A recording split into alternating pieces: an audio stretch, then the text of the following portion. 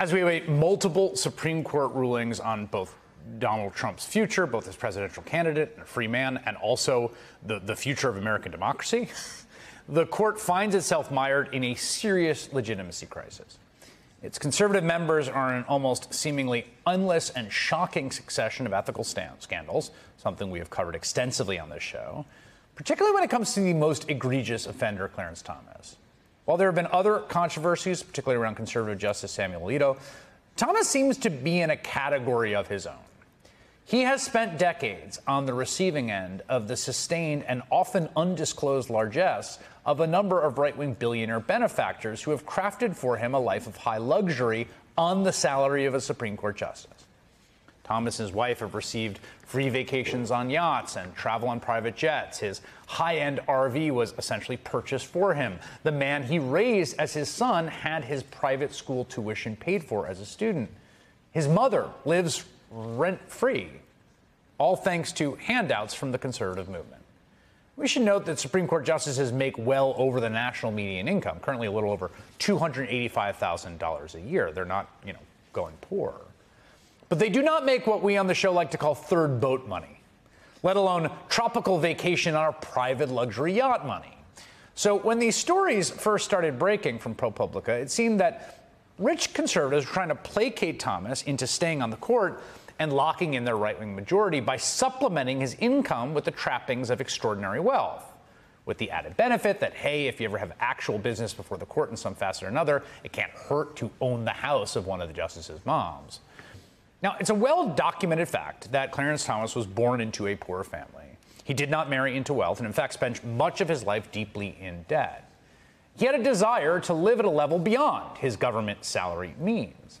So it, it really looked from afar, as I read all this reporting and we followed it here on the show, like essentially some kind of arrangement, I would guess implicit or tacit, had been worked out through these billionaire benefactors. Thomas could stay on the court instead of jumping ship to a fancy corporate law firm for big payday and still live a life of enormous luxury with private vacations and a fancy RV that he loves to drive around the country and cosplay as an average Joe.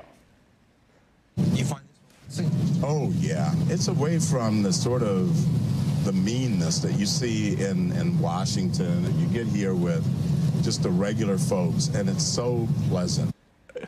Oh, the regular folks in my incredibly luxe, uh, uh, expensive RV. Now, uh, all this stuff put together for Thomas it, it is almost like a benefits package. The, the man could functionally operate with two sources of income and two sets of institutions he works for the United States government that pays him his official salary, the people of the United States, and then the right wing movement that subsidizes the rest of his life.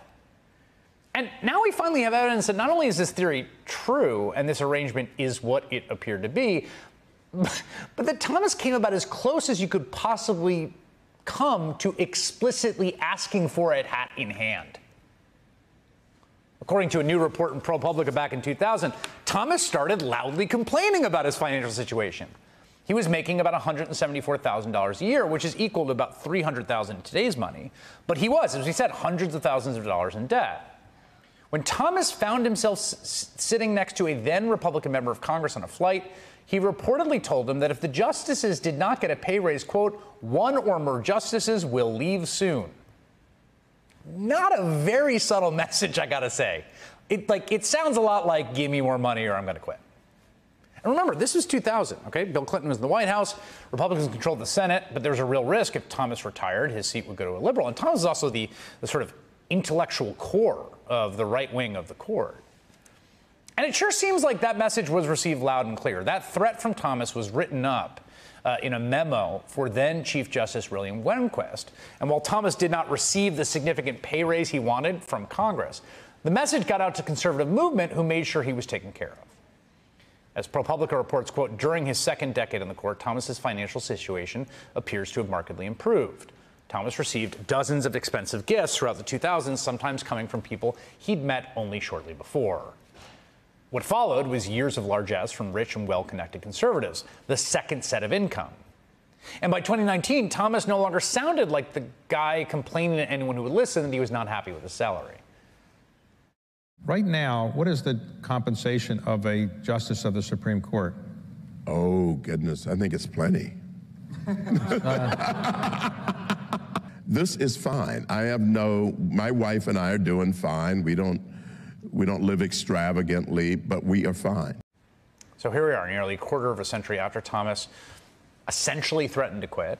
He's become one of the most consequential right wing justices of his era, who has built a national conservative judicial movement that adheres to his ideological philosophy and that of his billionaire benefactors. And he is one of nine who will decide if the man who attempted the coup will get a bailout or if he will be brought to justice.